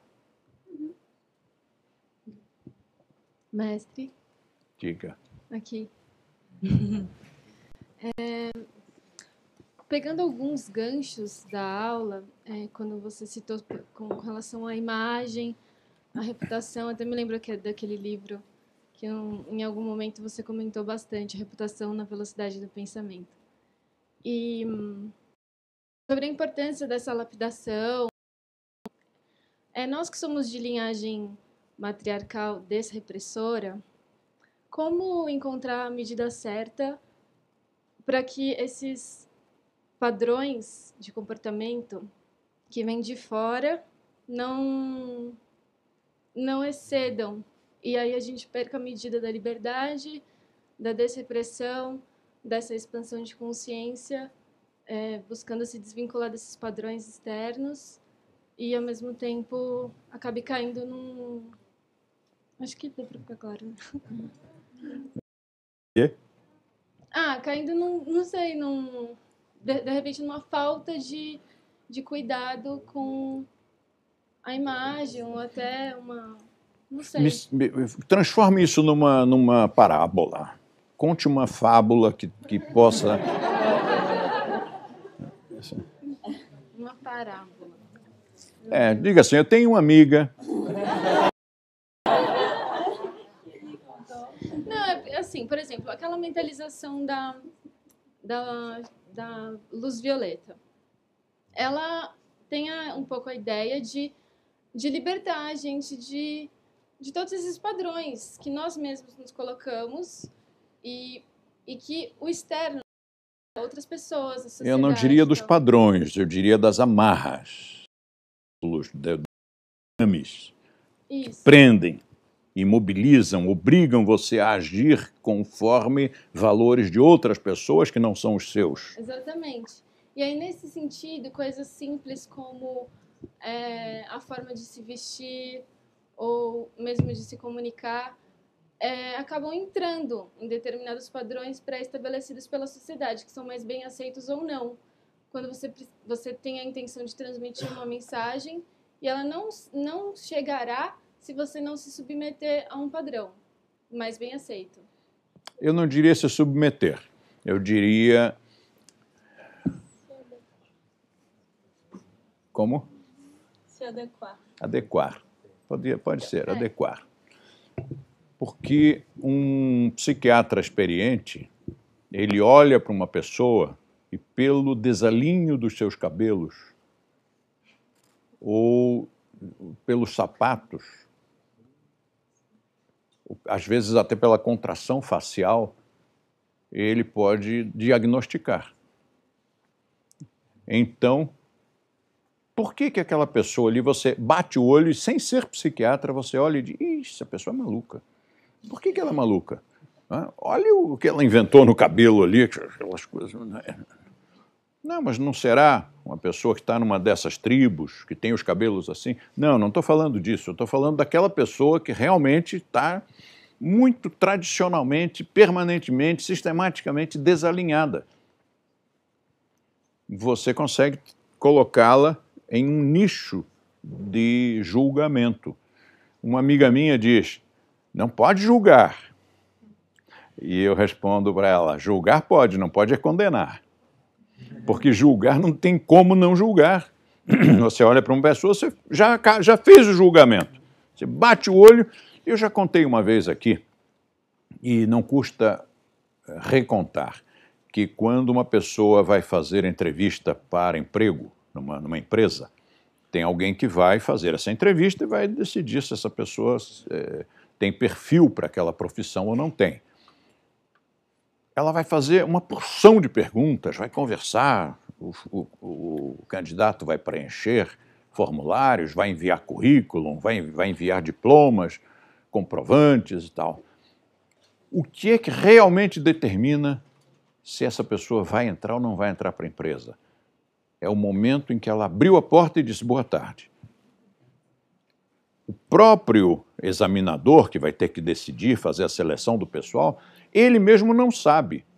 Mas na hora em que a pessoa disse boa tarde, ali ele já decidiu. Subconscientemente, ele já decidiu se essa pessoa entra ou não entra. Então, se duas pessoas derem a mesma resposta, esta entra, esta não entra. Por quê?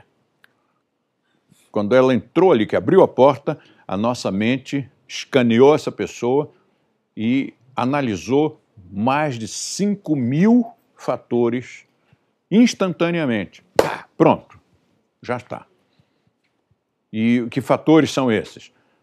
É o cabelo, é a postura, a atitude, é a fisionomia, é o tom da voz, é o volume da voz, é a segurança, é o sapato, é, é uma porção de são 5 mil elementos, 5 mil coisas que a mente humana analisa quando vê uma pessoa pela primeira vez, qualquer pessoa em qualquer lugar.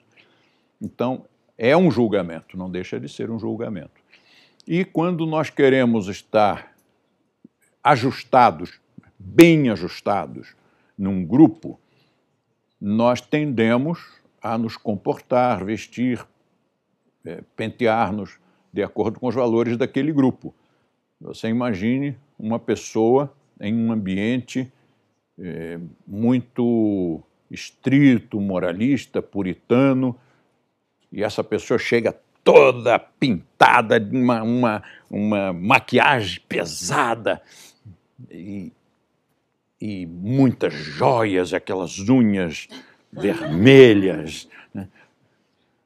Não adianta ela dizer, mas mas eu sou uma pessoa do bem, né? e eu, eu, eu tenho boas intenções, e não, não adianta. Né? Ela chegou ali com uma imagem que não é do grupo. Vocês viram isso num filme, cujo nome não me lembro agora, que é de uma escritora branca escrevendo sobre empregadas negras nos, em 1950, década de 50. Como era o nome do filme? É, ah, em português deu Histórias Cruzadas, exatamente. E você se lembra que tinha uma, uma figura assim? uma loirosa, com roupa justa, com unhas pintadonas, e as outras senhoras todas se escondiam dela dentro de casa para que ela não visse que tinha pessoas ali dentro. Então, o, o ser humano precisa saber em que grupo está e comportar-se de acordo com aquele grupo. Ela não é obrigada a se reprimir. Ela gosta do grupo, ela tenta se ajustar. Não gosta, faça como quiser, mas tem que saber que o grupo vai rejeitar. Isso em qualquer profissão, em qualquer religião, em qualquer eh, time de futebol. Você diz, não, mas eu, eu quero pôr a camisa do outro time, não tem direito de pôr seu, dentro do seu time. É, é um, você está sendo provocativa, né? não está respeitando as pessoas do seu time, vai criar inimizades. Há grupos culturais em que as unhas bem vermelhonas, evidenciando as garras da mulher. Né? Em alguns lugares, em alguns grupos, isso é muito bem visto. Em outros grupos, os, em geral, grupos mais elegantes, a pintura vermelhona ou de qualquer outra cor não é bem vista. Por exemplo, eh, pintar as unhas. Você pinta as unhas, você já se situou, de acordo com a cor e o tipo de esmalte, você já se situou em um grupo social. Não vou entrar em pormenores, mas todo mundo sabe do que, é que eu estou falando. Você vai a uma, uma loja, tem uma, uma funcionária no caixa com as unhas de um determinado tipo de pintura de unhas. Você olha ela atendendo e você já sabe. E ela veio daquele grupo ali. Como é que ela conseguiu trabalhar nessa loja? O dono da loja quis fazer economia, tá, quis uma pessoa mal preparada e, e para pagar menos. Né? Você já faz todos esses julgamentos. Você não está censurando por ela usar aquele esmalte, mas você está analisando, é inevitável, é inevitável. Microfone ali para o Luiz.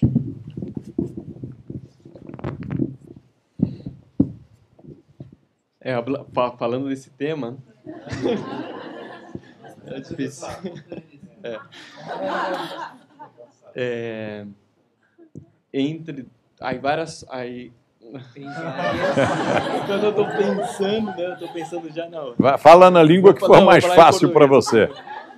É... Então vamos lá. Tem várias, existem várias formas, acho que da pessoa é, se encaixar naquele grupo, né? Aí, tem várias formas da pessoa ser elegante, várias formas da pessoa ser educada, várias formas da pessoa se vestir bem ou não, né?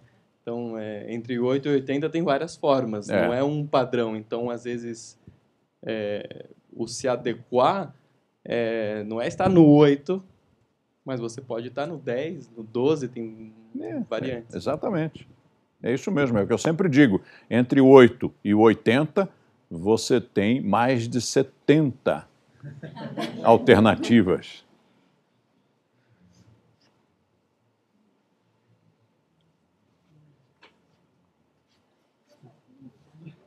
Mas ninguém vai à praia de terno e gravata, ninguém vai ao escritório de biquíni.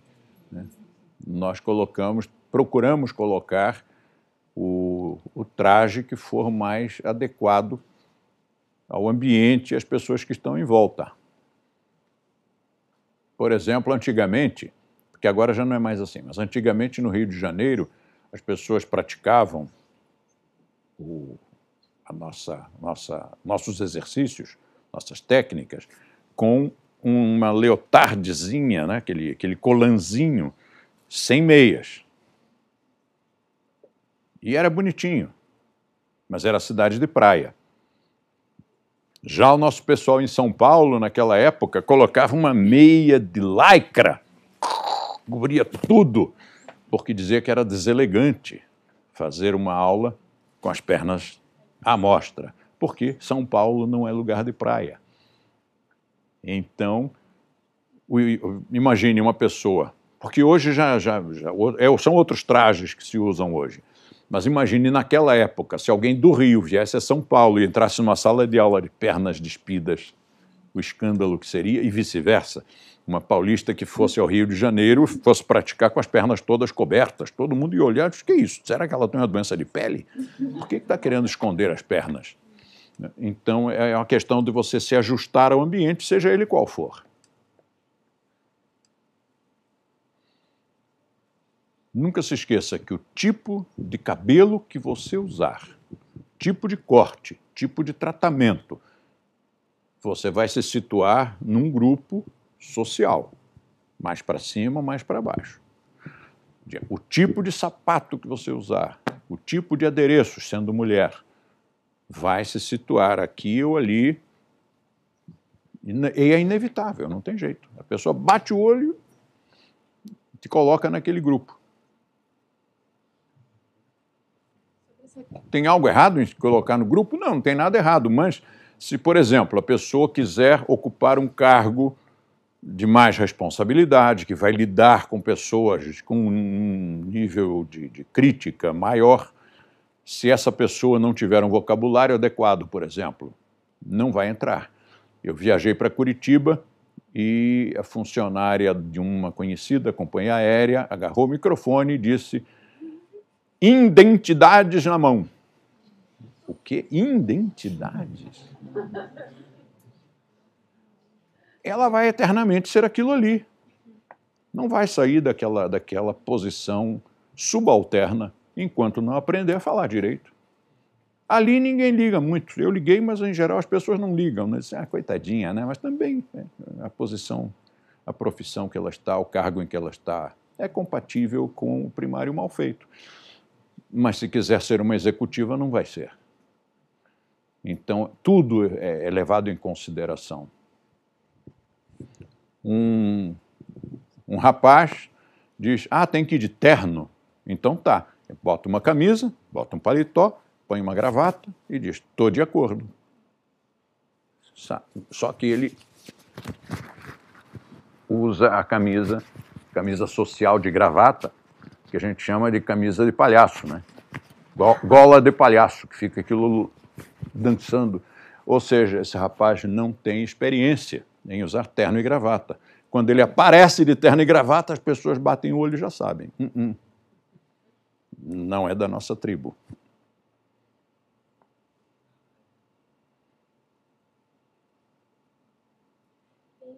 Uma, uma história interessante, uma curiosidade sobre essa questão do lance do inconsciente captar as informações e chegar a uma conclusão que a pessoa nem sabe que, que ela chegou àquela conclusão por causa disso, que é a questão do gosto, de uma forma geral.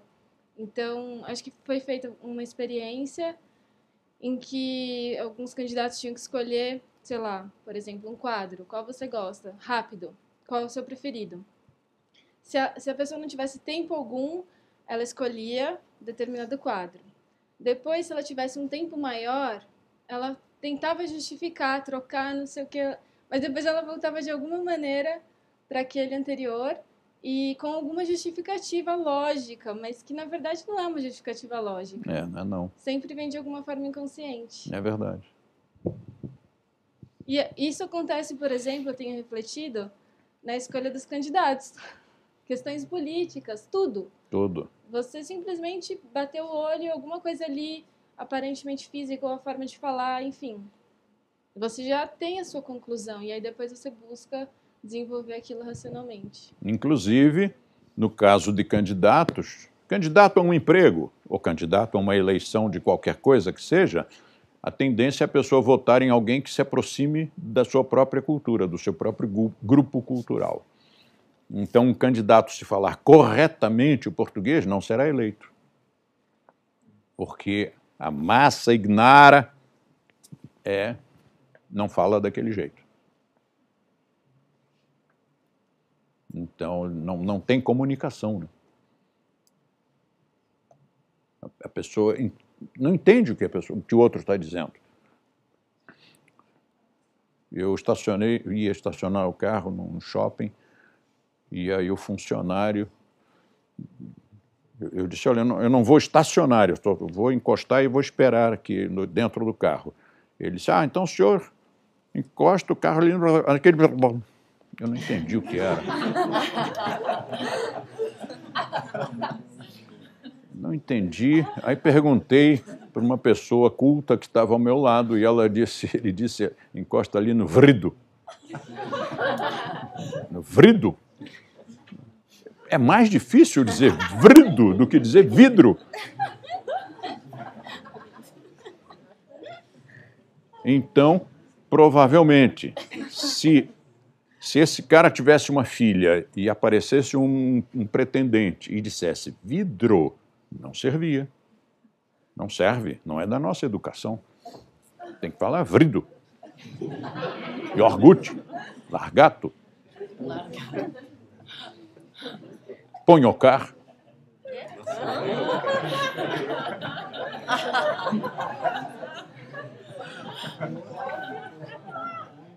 Nem sempre a tendência é de simplificar. Às vezes a tendência do povo é complicar, é colocar até letras ou sílabas que não existem. O ponhocar é por. Né? Em vez de por, uma pessoa que eu conheço que, e fala ponhocar. Não, não é instrutor nem aluno. Não é instrutor nem aluno, mas a pessoa fala assim e eu não a corrijo, porque não faz sentido. Não faz sentido corrigi-la. Deixa ela falar assim, eu entendi. Agora, se eu tenho um instrutor que cursou direito e diz que ele foi, agora ele não é mais, agora ele é empreendedor do método, mas se ele diz que ele foi advogado, não, esse aí eu vou corrigir. Né? Tenha santa paciência, meu querido, você fez uma faculdade. Né? Como é que você é advogado? Onde é que você encontrou esse E que não existe? Né? Que é uma tendência nossa. Né? O brasileiro coloca letra onde não existe.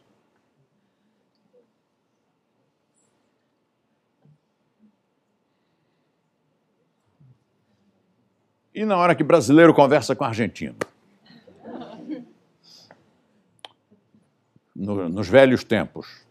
Eu disse a um colega lá de Buenos Aires, ele perguntou, você veio como? Eu disse, vim de Varig. Varig. Nós colocamos uma letra, onde não existe, né? lá no final, é, é G, G mudo. E o colega não entendeu. Aí finalmente ele disse, ah, de Varig. Se a tendência do brasileiro é colocar mais uma letra, a tendência do argentino é colocar menos uma. Um, por exemplo, um compact. O brasileiro já diz um compact. Já vão surgindo letras e sílabas.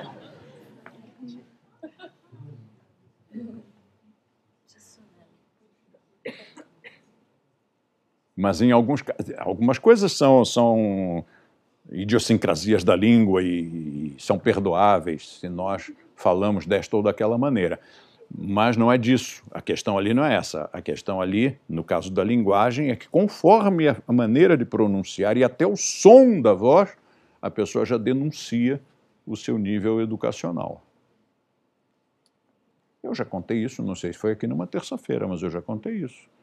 Que eu ouvi um som sim, sim. e já, já, sem querer, a gente já coloca a pessoa que você está ouvindo numa posição determinada. O ideal para todos nós, seja qual for o estado do Brasil, seja qual for a cidade, seja qual for o país, o ideal é que nós façamos um polimento no sotaque. O sotaque vai ser sempre preservado, cada um tem que ter mesmo o sotaque da sua região, mas quanto menos regional, melhor. Tanto que as pessoas que viajam mais costumam falar a sua própria língua de uma maneira mais compreensível do que as que viajam pouco, porque elas continuam pronunciando dentro do gueto da sua cidade e do seu bairro. Aí, quando uma pessoa fala a sua língua, o outro que conhece, por exemplo, se for o caso do brasileiro, alguém que conheça português, pode não entender nada, porque ele está falando, a, língua é a mesma, a mesma que o outro conhece mas falado daquela maneira com aquela melodia, com aquele sotaque, com aquela carga, com aquela maneira de pronunciar, às vezes com a boca muito fechada, assim. A pessoa não compreende, o outro não compreende. Ou como se estivesse com bolas de gude dentro da boca. Presta atenção quando os políticos derem entrevistas. Espere alguém falar a palavra técnico. Você é incapaz de reproduzir. Eu não consigo repetir o que, como, a maneira como eles dizem. Não todos, é claro, alguns. Tecno, tecno, teno, tecno, tecno, não sei fazer. É uma coisa muito enroscada que as pessoas da sua região entendem perfeitamente. Noutra região, às vezes, nós paramos e questionamos: o que será que ele falou ali? Não entendi nada. Nós que somos instrutores falamos para ser compreendidos, então é preciso expandir bem as sílabas e saber impostar a voz para que ela chegue em todos os cantos da sala ou do auditório onde nós estivermos falando. Por que, que nós colocamos a amplificação no, no microfone aqui da classe? Antigamente, até bem pouco tempo atrás, esse microfone não tinha amplificação, ele só transmitia para a residência das pessoas que estão assistindo. Mas aí os nossos colegas falavam tão baixinho que em casa todo mundo escutava, porque estava sendo transmitido, mas aqui na sala ninguém escutava o que o colega perguntou, ou o que o colega disse. Então, o volume da voz também tem que ser de acordo com a profissão, com o local, com o objetivo. É fascinante, não é? Eu acho incrível isso. E é uma alavanca a mais para que nós estejamos o tempo todo nos aperfeiçoando. Não com estresse, não com tensão. Ai, meu Deus, agora eu não, não vou ter descanso, não vou ter sossego nunca. Sempre vou ter que prestar atenção a alguma coisa. É, você pode reagir dessa forma, ou você pode reagir da outra. Olha que coisa maravilhosa tudo que eu fizer, eu vou prestar mais atenção, vou ficar mais lúcido com relação a cada coisa. Roupa, sapato, cabelo, adereços, vocabulário, tom de voz, aprimoramento do sotaque, passar ali um polimentozinho.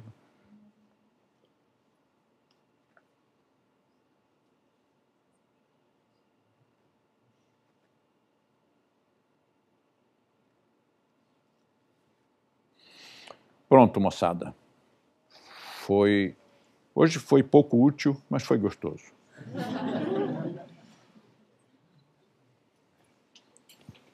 Swastia!